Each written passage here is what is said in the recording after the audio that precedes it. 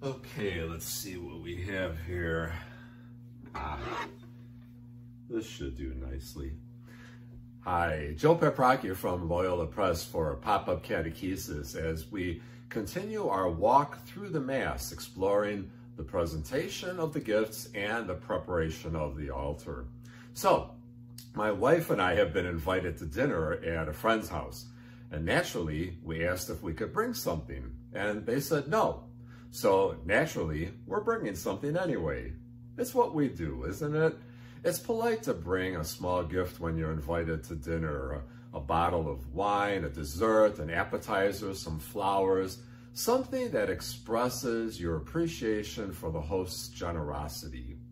It's also a way of showing that you are invested in the experience, that you're all in, and that you want to further the relationship that this meal symbolizes and celebrates. Well, the Eucharist is a sacred meal that we are invited to. That means that we have to ask ourselves, what am I going to bring? In essence, we bring ourselves fully, consciously, and actively to this sacred meal.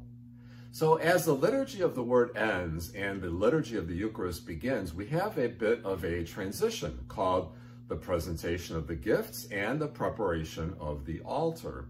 We offer gifts.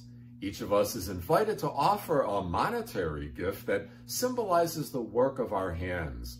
And as an assembly, we offer gifts of bread and wine that likewise symbolize, represent the work of our hands so that they may become for us the body and blood of Jesus Christ. And then, just as a table is set for a special dinner, the table of the Lord, the altar, is prepared for the Eucharistic meal. So help your children to recognize that we never go to a meal empty-handed, and that the same is true of the Mass.